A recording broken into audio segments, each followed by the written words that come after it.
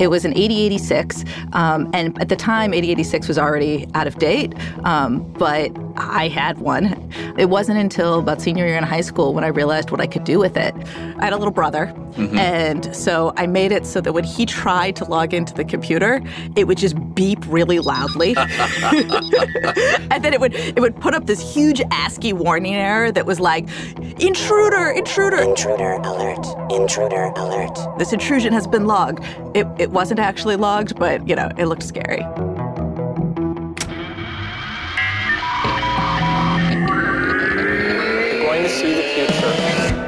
Hi, everyone. Welcome to Behind the Tech. I'm your host, Kevin Scott, Chief Technology Officer for Microsoft. In this podcast, we're going to get behind the tech.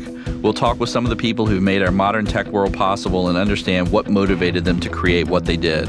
So join me to maybe learn a little bit about the history of computing and get a few behind the scenes insights into what's happening today. Stick around.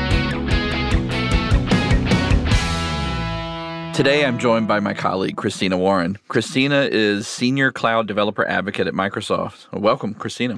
Thank you so much. I'm, I'm, happy to be here and I'm excited to learn more about today's guest. Yeah, so we're having Alice Steinglass on the show today. Alice is the president of Code.org which is an organization doing stuff that's super near and dear to my heart. So they are trying to teach every child how to program, and they partner with teachers in uh, K through 12 across the country and increasingly across the globe to try to help make computer science a part of the K through 12 curriculum. And you have a lot of similarities with Alice, right? Because you also have an organization that has a similar mission. Yeah, I do. So, one of the things that I've been trying to do, and like this podcast is a little bit of a reflection of that, is to show the truly diverse set of faces and tell the diverse set of stories that lead people into computing and what their careers look like. Because when I look around me and like I see all of the amazing people who are helping to build the technology that we all depend on, it's not this monolithic thing. There are just so many different folks genders and ethnicities and folks who came from you know like their parents were college professors to you know folks like me who no one in their family went to college. And it was sort of an interesting quirk that they ever found their way into computing. And one of the things that we know both from my work at Behind the Tech and my uh, family foundation is that you know the earlier that you set this spark of interest in a child and the more the barriers you get out of their way to pursuing that as an interest and maybe ultimately as a career like the happier more successful they'll be. Definitely. And like a lot of people i have kind of a unorthodox path into getting into tech I kind of got into it because I had that sheer force of will. Yeah. That I think about, you know, kids that I went to school with, and if they'd had those opportunities that were accessible to them, like the way that Code.org is making yeah. things accessible now, how different things might be. Yeah. And sometimes your journey can be sensitive, so to speak. So, you know, like one thing can completely change your path. Like with me, I was lucky enough to get into a science and technology high school when I was a senior. If I hadn't had that experience, I don't know what my career would have looked like, whether or not I would have chosen computer science as a major when I went to college, or maybe even whether I went to college at all. So I think what that tells me is let's do everything humanly possible to expose kids to as many of these opportunities as possible. It's not that I think everybody should be a computer scientist, but you should at least have the opportunity. Definitely. Thanks for chatting, Christina. We'll reconnect later at the end of the show. Coming up next, Alice Steinglass. Alice is the president of Code.org. Her teams build curriculum, tools, and software to support introductory computer science classes for students from kindergarten through high school. They also partner with education and software companies across the industry to run the Hour of Code, a global movement reaching tens of millions of students in over 180 countries. Alice, welcome to the show. Thank you. So, one of the things that I would love to start with is your journey. So, how did you get into computing? I'm so lucky to be here, but my journey was not the journey that a lot of people had. I didn't play with computers from the time I was little, I didn't take them apart for fun. I actually got into computer science because my school taught it. And, and this is your high school? Yeah, my high school. And, you know, I didn't really know what I was signing up for. I was into math, I was into other things. I said, okay, you know, I'll try this. I hear you can, you know, make things with it. And I took a class and I loved it. I had a final project where I built a game called Snake, which everybody, uh-huh. you know, is sort of similar to Tron. Everybody built it back then. I finished it. It was fun. I tested it. I tested it. And then my teacher ended up staying up like all night testing it and found out that the high score could go even higher. It broke if you had more than like five digits in the high score. And I said, How did you find that? And he said, We were playing it all night. And, you know, what other class do you get to make something where your teacher plays it all night? So, Yeah. And so was it the whole thing? Was it the technical challenge of writing the code? Was it the fact that you made something that someone was a little bit addicted to? I think it's all of that. I think, you know, for me, it's sort of like the best of math and art and English and all of that put together. I always liked math, but math, most of the problems have an answer. There's no creativity. It's, you know, here's a challenge. Can you figure out how to find the tip top of this curve or something?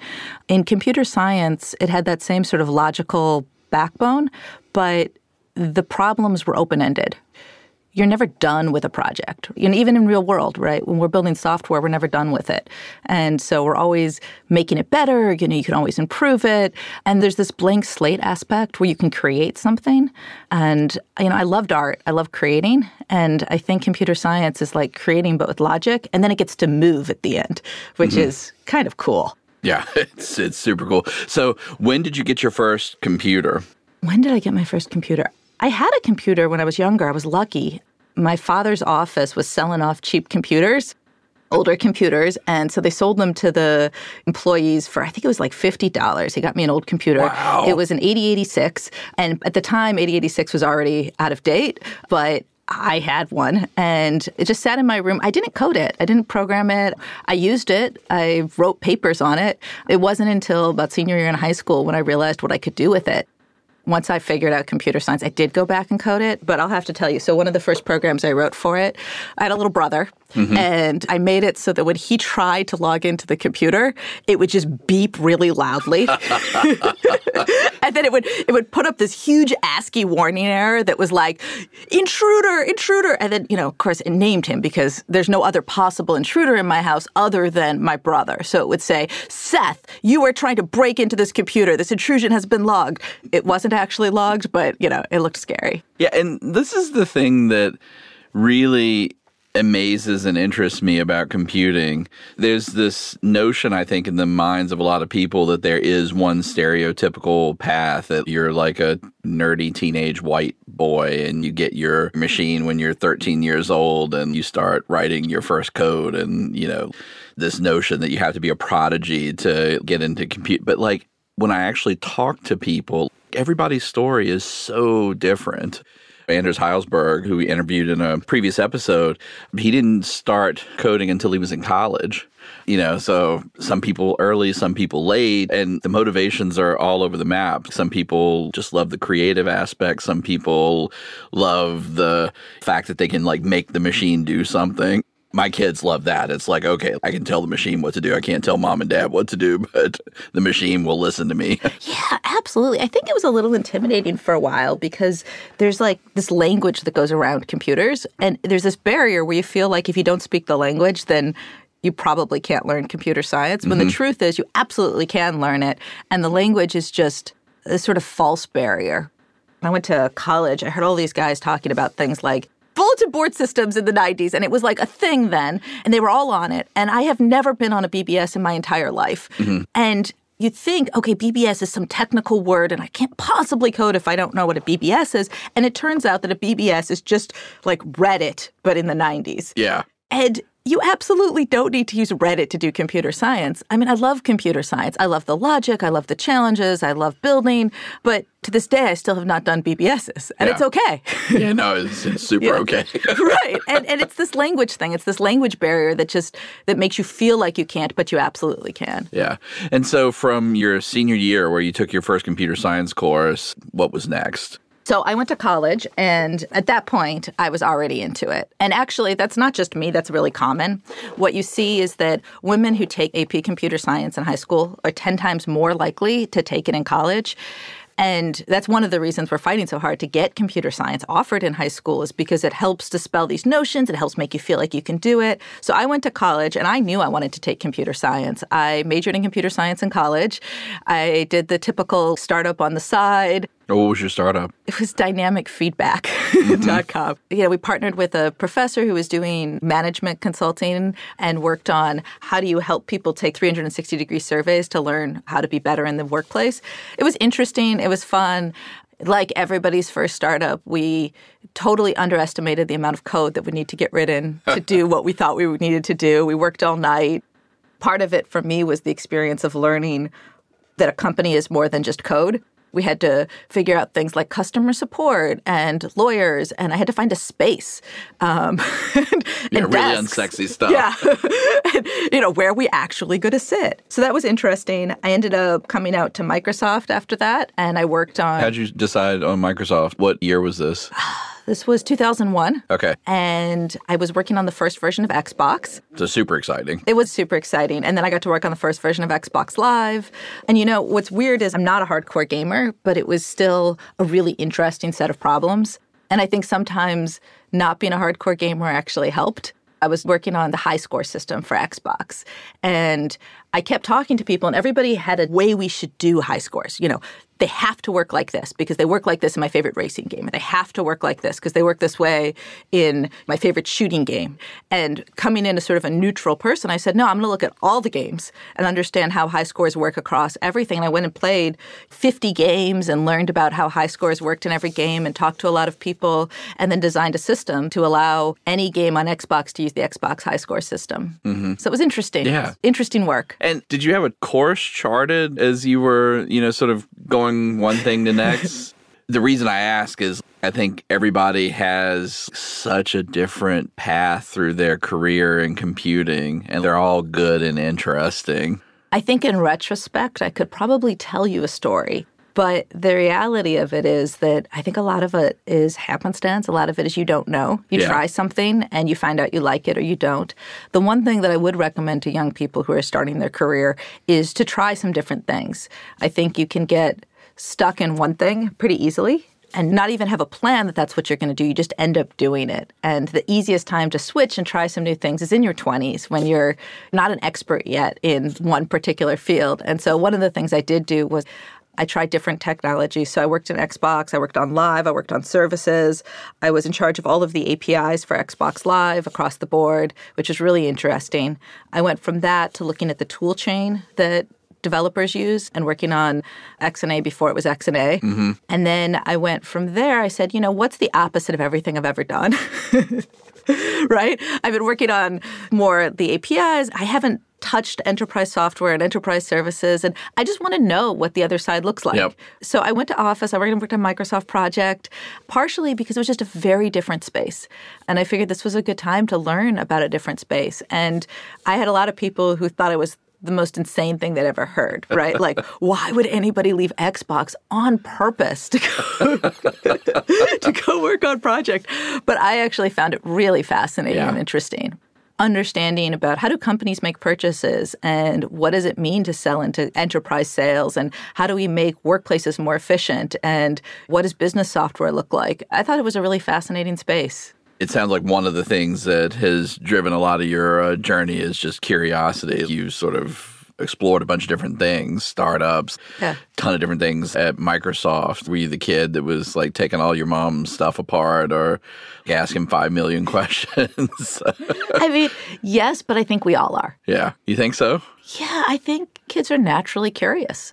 I think we all want to learn. I think we all want to do that. I think there are barriers that hold us back. And some of those barriers can feel more real than they are, especially in tech. It's a booming space. There's a million jobs right now. Everybody's looking to hire. When I'm mentoring people, I feel like talking to young people in tech, sometimes they're afraid to make the choice to try something new or to change. But it's sort of a false barrier they've put on themselves. One of the things that really strikes me about the industry over the past, let's just say 10 or 15 years, is I think in some ways we've gotten more complex. The number of programming languages, the number of frameworks, the whole ecosystem is just bigger. But in a very real sense, it's easier than it ever has been to go make something with code or with technology. When I was in college, folks had this notion that like, oh my God, like coding is so hard. You have to go get this degree, you have to practice. And to get really great at anything, all that's true. But my kids can go make interesting things right now without a computer science degree because the tools that they have are so powerful. Is that something that you're seeing helping students get into computing? Absolutely. There's level of relevance, right? Yep. You know, when I was a kid, I made a game from my calculator that was I made two. I made a game and I also made a formula solver cheat sheet kind of thing, uh-huh. right? That like helped you with your physics formulas.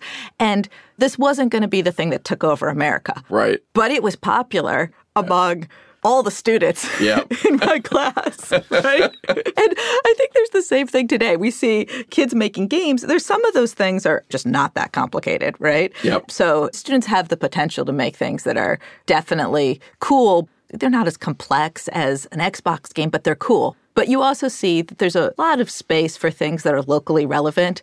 You know, like some of these kids' apps, like there's one with their teacher's face, and you could like feed the teacher ice cream, and like the teacher got a kick out of it. And it's fun and it's cute and it's relevant in that classroom. It's yep. relevant in that school. You know, your friends are all going to try it out. I think it gives you a taste of something without having to be an amazing artist. Just like anything else, there are these steps. Let's uh, talk a little bit about what you do right now. So, you're the president of Code.org. So, tell us a little bit about what Code.org does. So, we build curriculum, we do professional development for teachers, we do advocacy work, but our goal is that every child should have the opportunity to take a computer science class in K 12.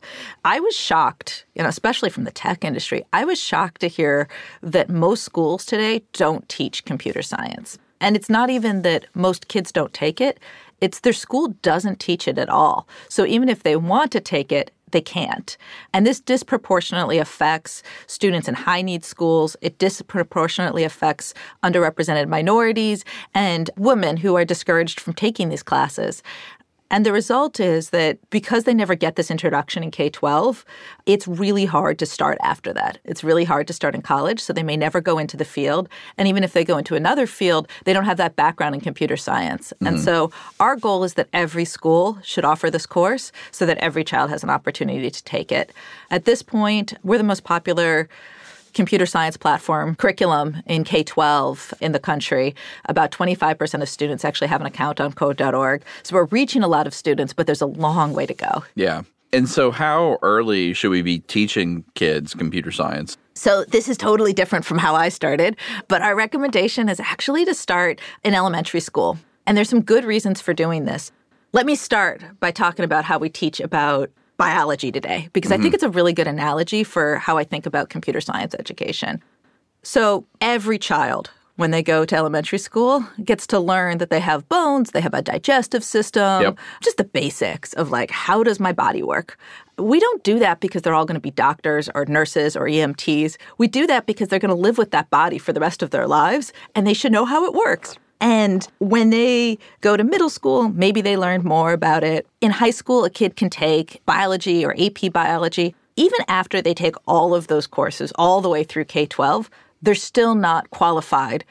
I don't trust a high school student who's taken AP bio to do anything to me. Right? So there's still more work if they want to be a professional in the field, whether right. it's a nurse or a technician or anything. Computer science is the same way.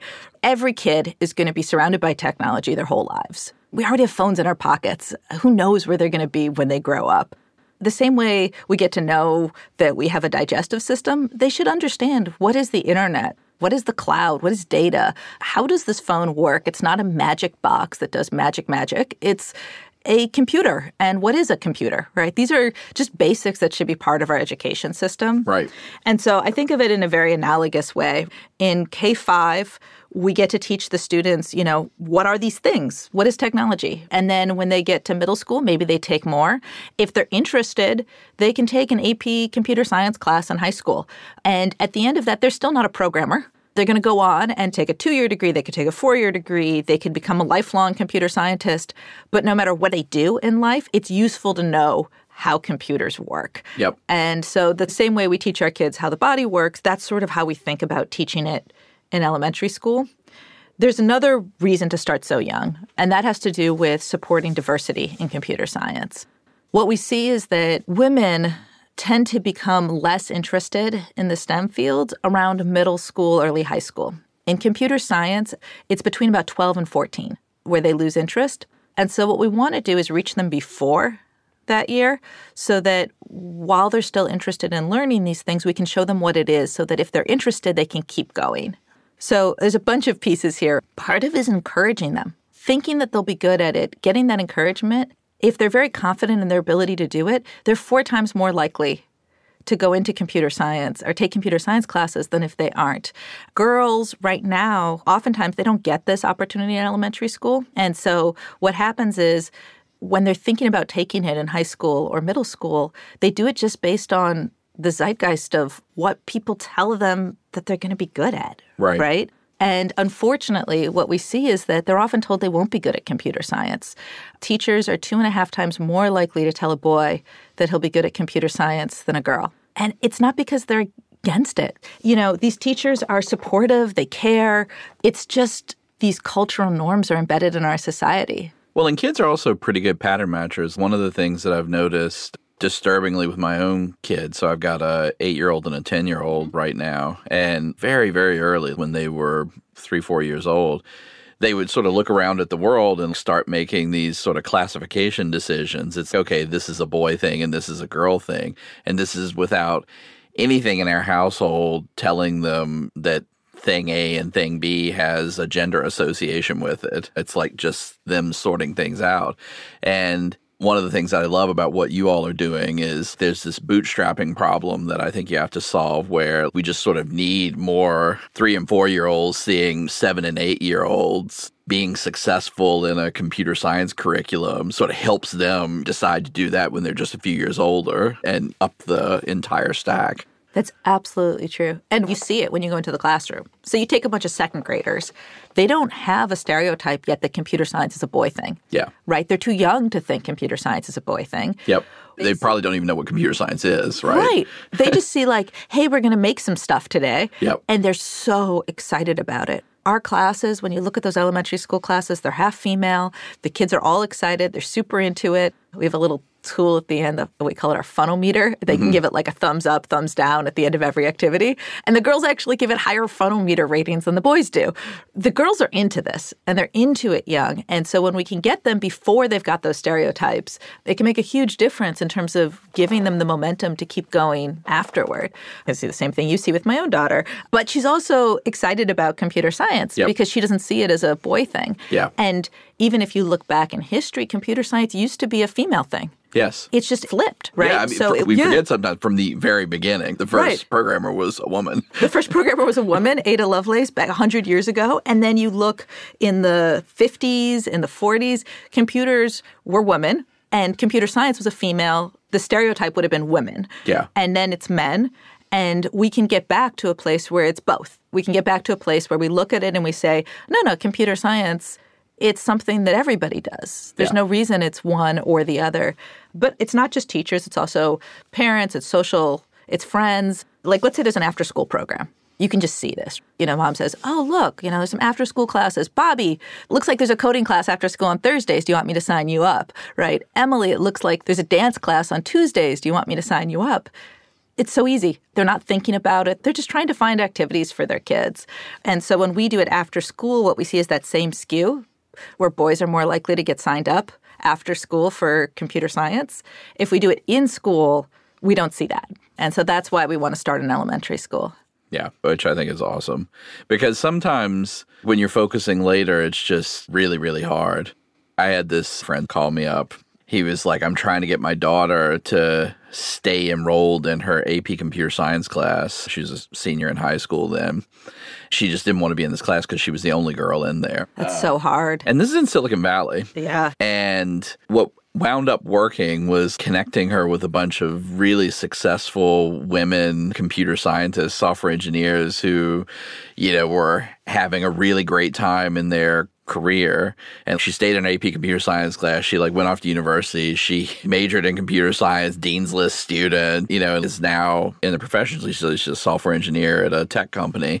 And that whole thing is hard to scale. What you would want to do is like do that for everyone, but it's so hard when you're starting later. Whereas starting earlier, you can maybe get to the point where just naturally you're not having a class full of boys in 12th grade in this AP computer science. Absolutely. We just hired a woman for our engineering team a couple months ago who was studying computer science in college, was one of the only women in her class, dropped out because she felt like she didn't belong, but liked computer science. She liked it. She just didn't feel like she should be in it because there weren't any other women in it.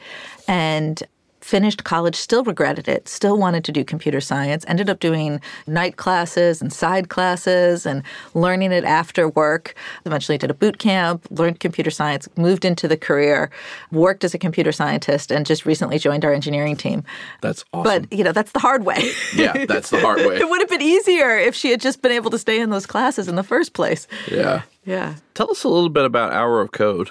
So, Hour of Code has just become a phenomenon. It's exceeded our expectations. If you're not in school right now, you may not have heard of it. If you're in school, you probably have. It's like Earth Day, but for computer science. Yeah. It's a national holiday. I don't have the exact numbers on the number of which schools participate, but as far as I can tell, everybody I talk to, their school seems to be doing it. It's, well, I realized it was a bigger thing than I thought when Steph Curry was posting on LinkedIn about him doing his hour of code. Oh, yeah. Okay. if you're into sports, then Steph Curry did it. If you're into other things, you know, Barack Obama's done it, Justin Trudeau's done it, David Cameron, that we've had about eight world leaders who've participated. We've had musicians, we've had actors, actresses. But I think the most important thing is the schools and the teachers are doing it. So tell folks what the hour code actually is. So the idea is that I can tell you till I'm blue in the face that computer science is going to be fun, that you can do it. There's nothing like actually trying it. So what we do is we get students and teachers to spend one hour trying computer science. We've built scaffolded activities that make it easy for beginners. In one hour, they can actually build something. You can actually build like a little mini game, something you can share, and be able to say, hey, I did that. And you actually learn some computer science. I mean, you don't learn all of computer science, it's one hour, but you learn a concept or two. You might learn about if statements, you might learn about loops and how they work. So the students get to try it. They get to try one hour. It's a great introduction. And we did a survey last year looking at thousands of students before and after they tried the hour of code. And what we found was that it does increase the amount that they say, hey, I like computer science or I'm interested in computer science. But what was especially cool for me was that the group that was the most impacted by doing this was high school girls. Mm-hmm. High school girls were probably coming into it thinking, hey, this is not something that I'm into. They try it and then they're into it. At this point, we've had 500 million hours of code around the world, and it's been in 180 countries. It's in 50 languages. It's a huge event every December. We do it for CS Education Week, and basically, it's just a way to introduce students around the world to computer science That's incredible. by actually building something. Yeah, it's really incredible. Yeah. and Um, it's not just us. This is one of those things that we do in partnership with about 200 different companies and organizations that run it and do activities. Microsoft has partnered with us on the Minecraft Hour of Code for the last few years, mm-hmm. which is our most popular Hour of Code activity. And students and teachers love it. It's an opportunity to use these characters they're familiar with from Minecraft, but Yeah. to learn computer science with them. So, what's the dream for code.org? If you had a magic wand to wave over the world and you can achieve whatever success you wanted to achieve, what does that look like? I think it looks like every child has the opportunity to learn computer science and that the students who are learning it look like the world, that the diversity matches, so that when we look at the workforce 20 years from now, you know, whether somebody is in education or marketing or retail, they're going to be using computers. It's going to be a part of their lives. And everybody gets to understand things like how the internet works and how computers work. And that when we look at the tech workforce, that the students who are prepared to join this that they look like the population. And i get to look around and half my team is female. And i want to state that we're working on one part of the problem which is the k-12 education. That won't solve the tech workforce by itself. There are definitely issues around hiring retention workforce bias all of those other pieces which also need to be solved. But i think that we're working on one really important part of the problem. Yeah. and we do need to bring more diversity into the tech workforce. And I think education is critical. Yeah, I think it really is. The thing that keeps me up at night about our future is I just sort of look at every year technology has a bigger and bigger impact on the world and the trajectory sort of tells us that that's going to continue for the foreseeable future and you know in a whole bunch of different ways you want as many people and as representative a set of people as possible participating in the creation of this technology you like want all perspectives, all backgrounds, all ethnicity. You want it to look like the world, which I think was a beautiful way that you said it. But you also want society at large to be well informed because a lot of the funky stuff that's going on today, we're going to have to make sort of an increasingly large number of decisions policy for instance like in ethics and in the laws that we pass and the regulations that are put into place to govern the intersection of society and technology. You want people super well informed when we're making those decisions, and you want them representative. It's like everybody. Absolutely. I mean, it's just critical that in this world, everybody has this opportunity. Yeah. And at code.org, what we do is we make it as easy as possible for schools to teach this. We offer free curriculum, we offer free professional development for these teachers.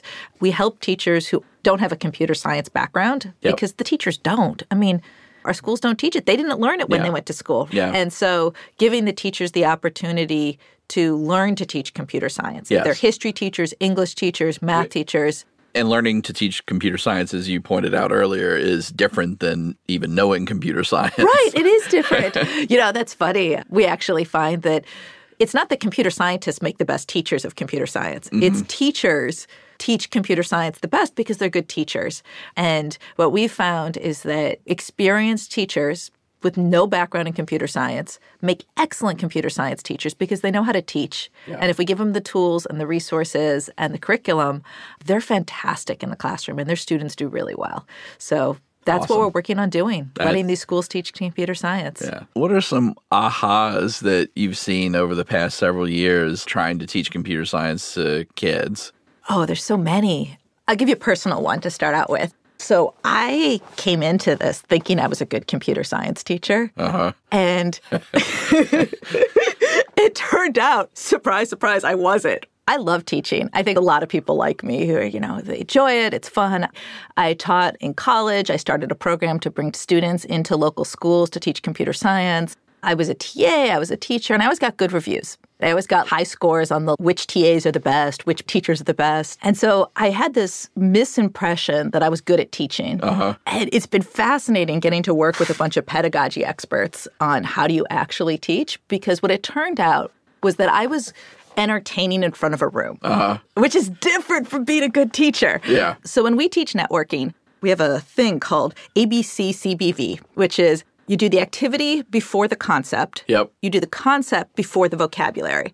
It's not about a teacher standing in front of the room lecturing. It's about letting kids discover it on their own. And the art of teaching is stepping back. It's doing less. It's not being entertaining. It's not being this person who's like a super energetic, exciting person to watch. It's about crafting experiences where the student is going to get to figure it out without you being involved. Because if they figure it out themselves, they're going to remember it. So let's say we're teaching TCP IP. We pair them up and we say, hey, you guys got to figure out how to send some messages back and forth. We have this little software that lets them sort of send these little packets of messages back and forth. But our software is going to drop some of those packets on the ground. We're just mm-hmm. going to lose them. And we're also going to send some of them out of order because that's how the internet works. And they've got to figure out okay, I'm sending you messages. Some of them come in out of order and some of them get dropped. How am I going to deal with this? I don't care how they deal with it. Some of them will send five copies of the packet because they're just going to be like, okay, let's just keep sending them because they're going to keep dropping them. Some of them will number them. Some of them will send back acts to say, yep, I received or didn't receive your packet. It doesn't matter what method they come up with. The important part was that they really understood the problem because they tried to solve it. And then after they've done that, we say, okay, that thing that you just did, that's called a protocol. Yep. And the protocol the internet uses is called TCP IP. Now, what did the teacher do in that whole lesson? They facilitated the communication with the students. They got the students paired up. They helped a student who was blocked get to that next step. But nowhere in that lesson did the teacher stand up in front of the room and draw a picture of TCP IP. Yeah. I've had similar sorts of problems with my kids. And it was sort of the same thing for me. My goal in life was to be a computer science professor from age 16 to 31 when I left academia. I taught undergrads for years, yeah. I taught grad students, and now I'm trying to teach a couple of really young children about these computer science concepts. And so I'm sitting down at a restaurant and teaching them about binary search. And that one was a total win. Like they, they got it right away because I made it into a guessing game. I'm going to teach you a trick right. for how you can get someone to like play this guessing game with you where you can find the number that they guessed between, you know, zero and 128 in seven steps or less. You know, they're like, this is great. But then I wanted to teach them how to do search. And they're like these little things about teaching search that sort of hard. One of the things is if you just sort of take a bunch of numbers and write them down and say, how would you sort these? One of the things that's sort of interesting is human beings can sort of see all of the numbers at one time. So they're cheating in a sense when they're imagining how they're sorting. And so I devised this thing where I could give them a bunch of blocks where the numbers on the blocks were covered up. And so they could go examine the number on the block one at a time, which is sort of how the computer goes and does things. I just really realized that I was all kinds of wrong about how good I was going to be at teaching little children uh, these computing concepts. Actually, the way you ended up doing it is very similar to how we do it in our class. So, what we do is we give the kids decks of cards. Mm-hmm. They're only allowed to lift two at a time to compare them because that's how a computer would do yep. it. They can't look at the cards when they flip them. They sort of show them to the other student, and the student says which one's bigger. Yep. So, they get to yep. pick two at a time and see. And, oh, and actually, awesome. one of the things that's cool about that and a lot of our lessons is they're not on a computer. They're actually using physical cards in the classroom. Yep. And Which I think is actually great. It's great, yeah, because you know when you say computer science, I think sometimes people think, oh, it's all on a computer, and really, about half of our lessons are off the computer, and it's about interacting with other students. It's about internalizing the concepts by working with the actual concepts and the logic outside of the context of the computer. Thank you so much for doing this work. I couldn't be a bigger fan, and I think you guys are having an enormous and amazing impact on the world thank you for taking time to be on the show today. Oh, no, thank you. And thank you for Microsoft support.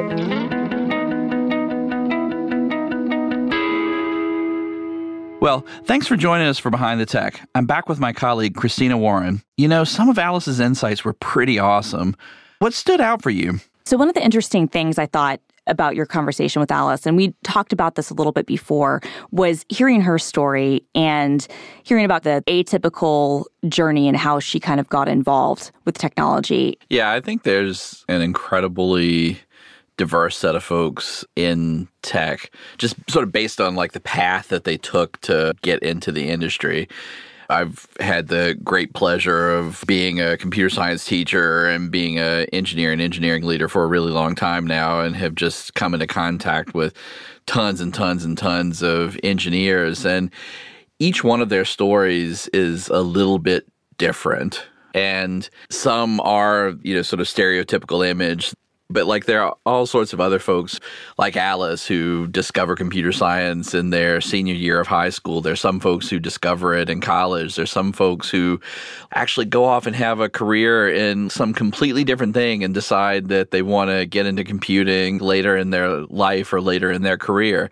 And you know, the thing that I'm seeing now is that it's increasingly easier to make those transitions because the tools and capabilities and and sort of richness of our programming environments and the way that we build software just sort of allows more and more people to get bootstrapped more and more quickly. Part of that's a byproduct of the open source wave of software that, you know, we've been witnessing over the past 3 decades. Yeah, definitely. One of the things I love about code.org is that even if the kids who are going through those programs, even if say they don't choose to study computer science in college, yep. they still have that foundation. I think it's a really important thing that everyone in society understands a little bit about computing because computing and technology is having a bigger and bigger impact on all of our lives all of the time. And so being informed about some of that stuff and like having an idea in your head about how things work is going to help you be a better citizen. And I feel like that's the only way that our products get better is by having more diverse viewpoints and different types of people coming into doing things because you never know what someone's perspective is going to bring. I love what code.org is doing and bringing more and more people into the fold and letting them know, hey, you can do this and it's fun. Yeah, tons of fun actually. but I have a biased uh, biased opinion there. I think that whole pedagogical framework for teaching computer science to kids, it's really great. I think it's actually, you know, going to prove to be great not just for kids but for adults when I was a lecturer at the University of Göttingen in Germany, I was teaching a class on programming languages and the theory of computation. And some of that is difficult material to teach that certainly challenged my ability as a teacher, especially because I was lecturing in English to a class full I, of non native speakers. Yeah, I was going to say, so you're doing this in Germany, teaching in English, and then they're non native speakers, although uh, I guarantee that they understand English far better than I understand German. But uh, still. That, that was always embarrassingly true for me. Their English was way better than my German. in some ways, it's a different challenge to really bring someone up from the ground to how do you get over this beginning set of conceptual hurdles so that you can then get into the computer science curriculum? By the time I got them, they knew sorting algorithms, they knew, you know, if then else uh, statements and while loops and, you know, all of the basic things of, you know, how you construct a program. I think at least until I had kids of my own, I took for granted how difficult it is to teach the quote unquote simpler stuff.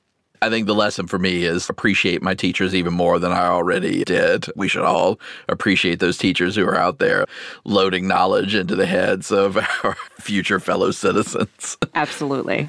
Well, thank you so much, Christina. This has been a great conversation, and I look forward to being back with you again in the next episode. Me too. Thanks so much. Next time on Behind the Tech, we'll talk with Andrew Ng the co founder of the Google Brain Project, Coursera, and most recently, DeepLearning.ai and Landing.ai. Andrew is one of the most influential leaders in AI and deep learning. Be sure to tell your friends about our new podcast, Behind the Tech, and to subscribe. See you next time.